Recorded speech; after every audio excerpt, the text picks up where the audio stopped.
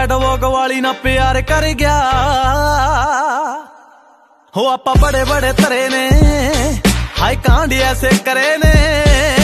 ਕੋਟ ਕਚਹਿਰੀ ਹਰ ਵਾਰ ਪਰ ਗਿਆ। ਆਓ ਜਿੱਦਾਂ ਦੇ ਲੰਗੋਟੀ ਉਹਦੇ ਯਾਰ ਬਣ ਗਏ। ਟੀਨੀਏਜ ਚ ਹੀ ਮੁੰਡਾ ਕਰਾਂ ਦੂਰ ਹੋ ਗਿਆ।